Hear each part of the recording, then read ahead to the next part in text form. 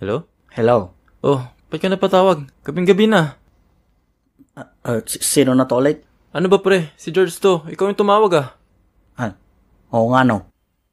Tulog ka na? Ano bang klaseng tanong yan? May sasabihin ka ba?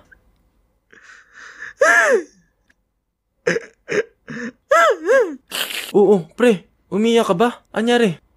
Hindi. Lasing ka ba? Hindi. Sigurado ka? Hindi. Pre, kilala kita. Lasing ka. Kilala din kita. Ano ba Douglas? Magseryoso ka naman. Seryoso naman ako, pre. Pero mas seryoso yung papa niya. Papa niya?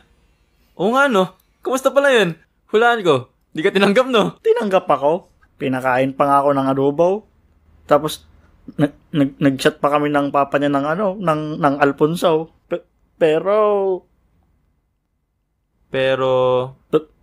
panaginip. Hay nako Douglas, sabi ko naman sa'yo, maghanap ka ng trabaho, itigil mo yung bisyo mo, at baguhin mo yung buhay mo. Baguhin.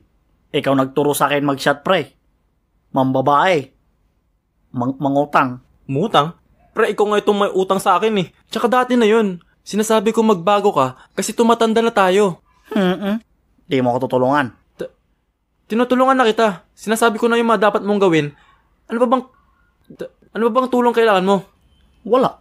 Akala ko, samahan mo ko mag-chat, mag- mag-relax. Maghanap ng babae, ng, ng solusyon sa problema ko. Tapos papautangan, pa- pa- papayuhan mo ko.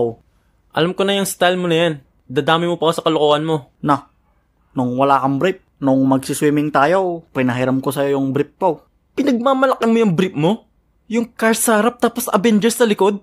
Oh, oh, bakit? Baka nga suot-suot mo pa ngayon eh. Anong suot? Di mo pa nga binabalik? Bakit may plano ka pang suotin? O bakit hindi?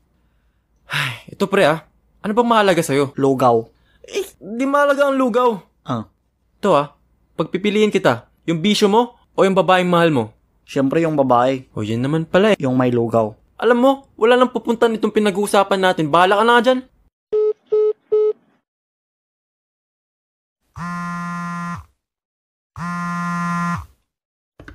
Pre, O ano na naman? Tulog ka na.